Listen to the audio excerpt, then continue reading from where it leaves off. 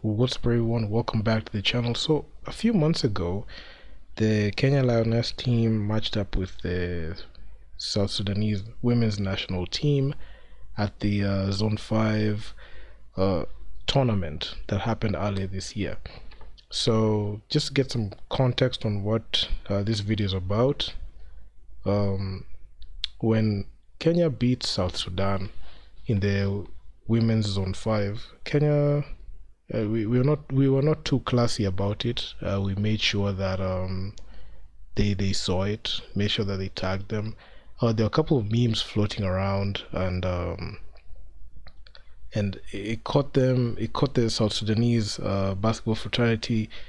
In, in, it rubbed them the wrong way, and looking at even what you're seeing on the screen right now. So this is a page on Facebook. Uh, it's called Dynamic. It's verified. So uh, he was he said he came out saying he actually took the South Sudanese uh, photo, the graphic that showed that they qualified for the FIBA World Cup, and um, he put it there and he wrote the caption.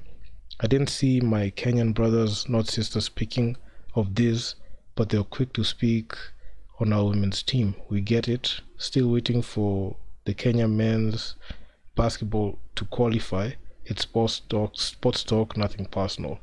So this was a slight jab, but uh, just a reaction to uh, what we, what we, you know, even yours truly, uh, were talking about, especially when the Kenya Lioness team beat South Sudan twice, and the first time wasn't close. The second one was to like notch on the third place. So, just to get some context, you can see where he's coming from. Uh, Kenya got beat by South Sudan in the AfroBasket to eliminate, us. Earlier on in 2020, in the AfroBasket pre-qualifiers, Kenya had the last laugh as they beat South Sudan. And when South Sudan got their payback, and looking at what they have done since that AfroBasket run, has been remarkable. And looking at how they fared in the FIBA Basketball World Cup, and you compare to Kenya, South Sudan are way are miles ahead, and they were able to beat every single team that Kenya lost to. They beat Congo DR, they beat Senegal, they beat Egypt. Uh, they they just flat out dominated. So this just marks like the background context on what the social media, you know, post is all about. So I went check on the comment section and man, it was just heated. So let's just go through it. So we had this guy saying battle to my brother. So this guy replied, please have that conversation with Uganda or Tanzania. We are past your level. We're in the World Cup and you guys still in City Cups. Big difference. Bro. there was a huge blow on us because this statement holds true because Kenya has never been able to get any success in continental basketball and, and South Sudan have despite us having a head start. So this uh, this is just playing to our downfall. So this guy is saying game is already rigged you know yada yada yada in there. I always say South, South Sudan will be a powerhouse in sports and will dominate Africa in the future. Football is the next big thing to grow bigger and better as many South Sudanese abroad come back home represent the motherland. So true. South Sudan, they they're just pretty they're just pretty good. So right in that post in the comments you can see they can only qualify in rugby man. referring to Kenya. So other than basketball, what other sport are you good at? Let's not forget we are brothers first before anything else. Kenya's just getting roasted. We are getting roasted because these people are just are good most at comedy. oh my god, and it will be taken away from them. So you can see they were just literally ripping us because number one, the reason why you get ripped on is because we talk so big yet have achieved so little. We have players who, you know, when they win when they won against Angola, you could see they're just all arrogant. And they went to when they went to like even local media, they're talking as if they're four time we are four time champions. Yet we just qualified. We didn't even win anything. No minute tournament, we didn't win anything. So, on going on to the moving swiftly on the comments, advise Kenyans to go for a marathon. Basketball isn't for them. at the moment, I would agree with this statement because I, I must say we're not there yet. Because if you look at the way we have been set up, uh, it's not promising right now. Smartest idea ever, haha. These guys are just ripping us. So I feel I feel you, legend. So another long thread. I always find it awkward of you bashing Kenyans on various aspects. Sincerely, Kenya raised you and gave you an opportunity to be where you are after fleeing Sudan. Please do not be a rush be, be on a rush to criticize the we accommodated you wholeheartedly. Okay. Or you cut the BS if you can't take sports, log out, get off your feelings and go catch some sun. Moving on. You remember them days in Arabia? I mean oh my god Egyptians here are saying that saying where were these people when it was called Sudan, but you replied but our replied was they were in the bush for 21 years. Now it's time to show who they were, who we are. I mean, some guys in the comments are just just funny. So basketball is not for Kenyans, but running is meant for them. True. Uh, right now, uh, we we're just good at running. Those guys are number one in in TFT in Africa, just leave them. Our bad vices just come back to bite us. Forget about them. They are competing at a low local level. When the World Cup, a fit no country in East Africa come close, can come close to true. Kenya is uh, way behind right now, while South Sudan are gearing up to play in the FIBA World Cup. The losers, in including my country, Kenya, we'll be battling it out in the AfroCan. So levels, see the levels are different. So that's sensitive part you have touched, brother. We wouldn't celebrate our victory together because they are close friends. East Africa community are this. No, we're not the same. You can see Kenya is just be falling behind. We failed in road to Bal. City Oilers came and passed us. Cobra Sport comes from South Sudan. They made the BAL last season. Man, I mean, there's nothing and oh, don't forget Rwanda. They have a mega arena where the BAL playoffs are going to, you know, be hosted as we speak right now. So yeah, I mean, um, Kennedy Loria, aka Singer Dynamic, you're poking Kenya, where you grew up uh, from, is like a fisherman poking a crocodile simply because he has crossed the river. Stay away from such. Honestly don't know what these people are saying. I mean, bullshit in sports. You can't handle the heat, leave the kitchen. oh my god. Say hi to your Yaglas. Okay, okay, fine.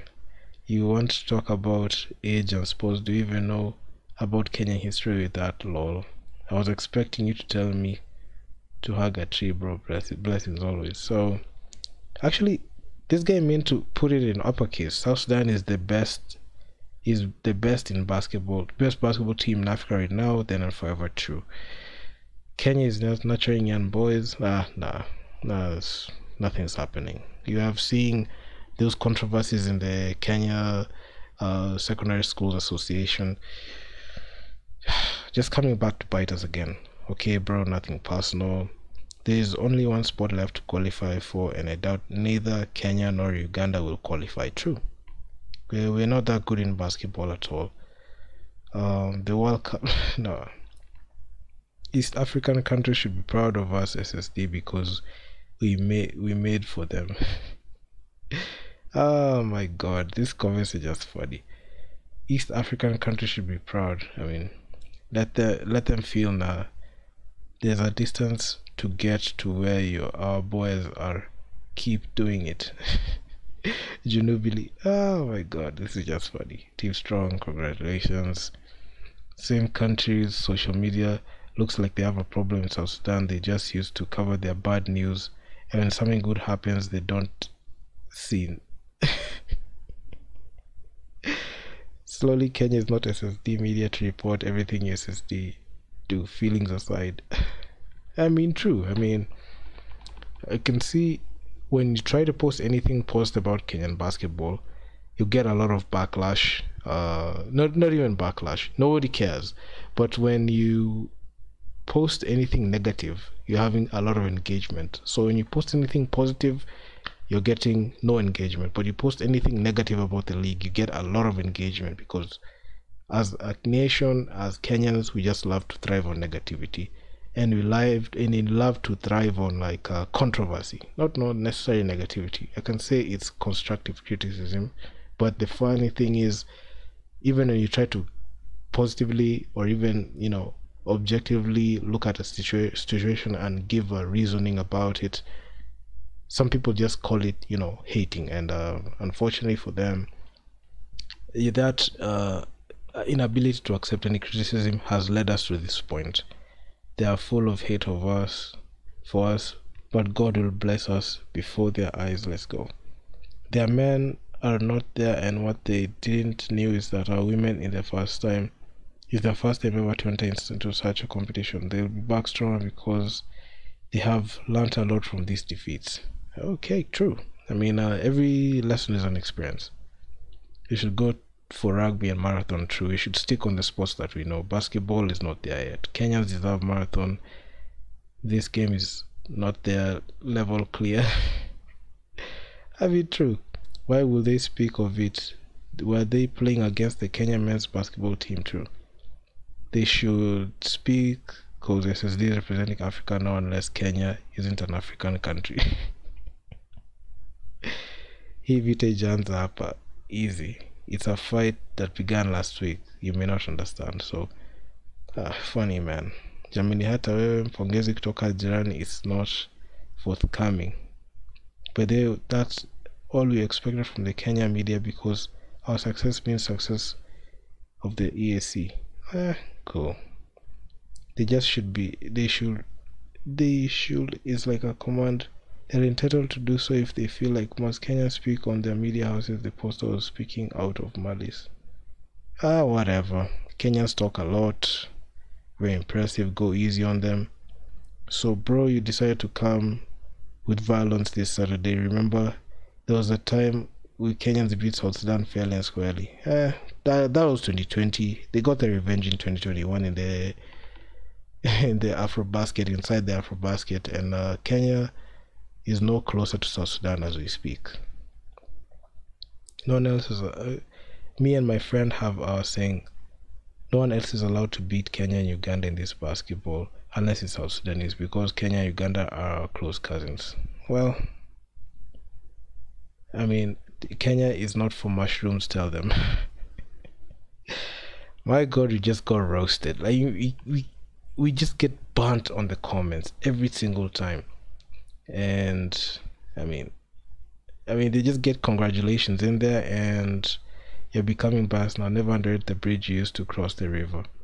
You guys are so emotional. Stay away from trash talks. You can't manage the heat. Go home that doesn't restrict freedom of speech and in the end it is just banter in sports no catching feelings a few days ago kenyans trolled south sudanese and we understood their perspective true so the thing is for a country that hasn't achieved anything in basketball like my country the farthest that we have gone to is getting a silver medal in the AfroCan with the national team we failed in the afro basket we failed in fiba world cup there's nothing that we are we have we have to show for those two major tournaments that happened. The only thing that we have is a silver medal in the Afrocan and happened in 2019.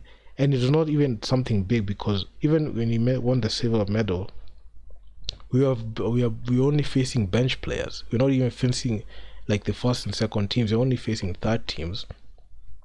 Even us beating Nigeria, us beating Cote d'Ivoire in that run, didn't mean anything because they didn't even put even their best team in there. So all I can just say is South Sudan are the best right now. They're headed to the FIBA World Cup while we watch the FIBA World Cup at home. And I don't even know if you're even training for the AfroCan, which is going to happen this July, because there's nothing that you have done that is even um, coming even close to even improving. Our national teams are pathetic. We blew to the Kenya Lioness in February earlier this year. We're going to we blew we blew it again with the the women's team, the men and women's team for the, in the KPA organization, the KPA women's side. They failed in the but Africa Women's Cup. They failed there. They failed in Zone Five. The men's team failed in Road to Bal. Won one game in a blowout, lost four straight. and it was embarrassing because we got beat by a cast of 17 year olds in there, which is not a good look, especially with the NBA Africa team, a team that is not even playing in the BL. They just went there to just you know get a feel for the game, and we lost to them. And man, I mean, if those losses keep on piling and the win column for the South Sudanese side keep increasing, we are not even closer. Because if you look at even the road to Bali, you could see City Oilers hailing from South Sudan, not South Sudan, from Uganda. They went there. They they went there. Okay, didn't they didn't make the playoffs, but you could see that they had some progress in there.